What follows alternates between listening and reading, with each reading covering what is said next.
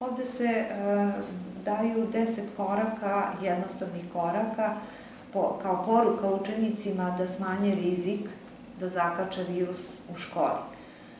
Pa eto, prvi korak bi bio da se izbegava rukovanje, grljenje i ljubljenje sa drugovima i drugaricama. Drugi korak da se ruke peru sa punom ili dezinfikuju nakon kontakta sa drugim ljudima, ukoliko smo se ipak rukovali, nakon dodirivanja predmeta u javnom prostoru, kvake, rukohvati, u prevozu, školski nameštaj, zatim dezinfekcija preuzimanja hrane i pića, nakon dolaska u školu i povratka kući.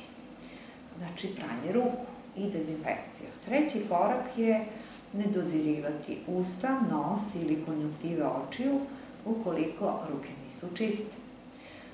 Četvrti korak, kijaj i kašlji u maramicu ili u pregljiv lakta, nakon toga maramicu baci na propisano mesto i obavezno operi ili dezinfikuj ruke. Peti korak, u školu ulazi isključivo sa maskom koja dobro pokriva nos, usta i bradu.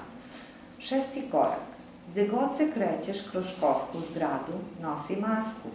To važi za učionice, hodnike, splačionice, toalete i sve ostale prostorije.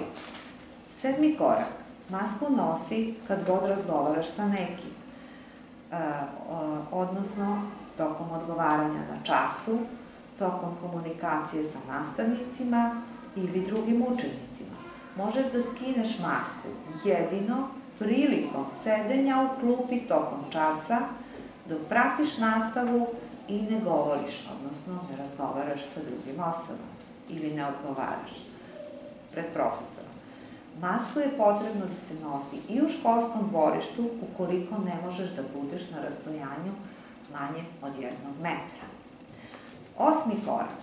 U odnosu na druge učenike, nastavnike i osoblje škole održavaj fizičku distancu od najmanje jednog metra, kad god je to moguće, izuzev školske klupe. Deveti korak. Ukoliko tokom boravka u školi primetiš bilo kakvu promenu zdravstvenog stanja, najčešće u vidu glavobolje, bola u grlu, kijavice, drhtavice, odmah o tome obavesti nastavnike.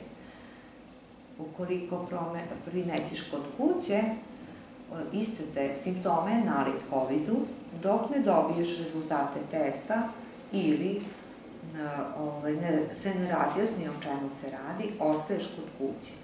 Ukoliko re, rezultat testa bude pozitivan, potrebno je da ostaneš kući, uzimaš propisanu terapiju i budeš u kućnoj izolaciji naredni 14 dana.